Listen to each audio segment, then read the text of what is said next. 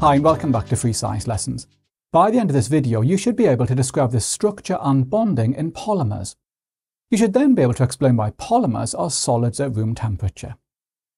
Now polymers have thousands of uses, and I'm showing you some examples here. We find polymers in disposable razors, plastic cups and plastic drinks bottles. In this video, we're looking at the bonding in polymers. Now, the first key idea is that polymers are very large molecules. We make a polymer by joining together thousands of small, identical molecules, and we call these starting molecules monomers. Monomers are often alkene molecules, and you'll find out more about alkenes in the organic chemistry topic. A good example of an alkene is ethene, which I'm showing you here. As I said, we form a polymer by joining together thousands of monomer molecules, so I'm showing you that here for ethene.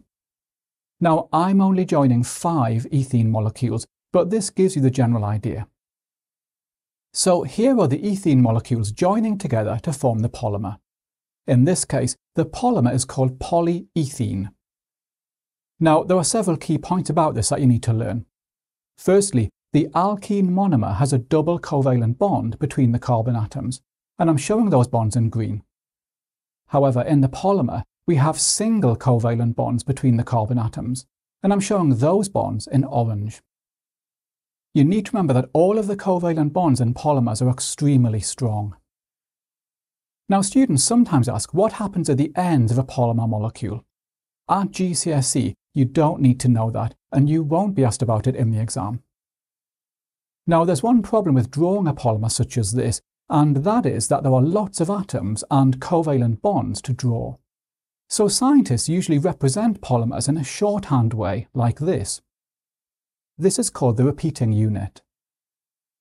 There are three important details about the repeating unit that you need to learn.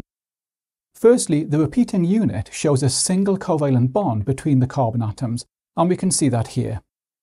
Secondly, the covalent bonds on either side have to extend out of the brackets.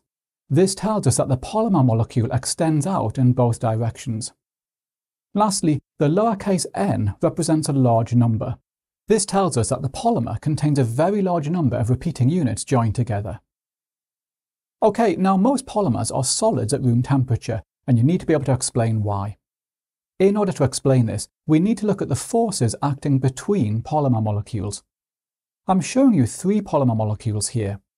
Between the polymer molecules, there are intermolecular forces of attraction, and the word intermolecular means acting between molecules. Now, the intermolecular forces of attraction between polymer molecules are relatively strong. In order to melt a polymer, we have to break these intermolecular forces. Breaking the intermolecular forces takes a lot of energy, and this means that polymers have a high melting point. And because of this, most polymers are solids at room temperature. You'll find plenty of questions on this topic in my revision workbook, which you can get by clicking on the link above.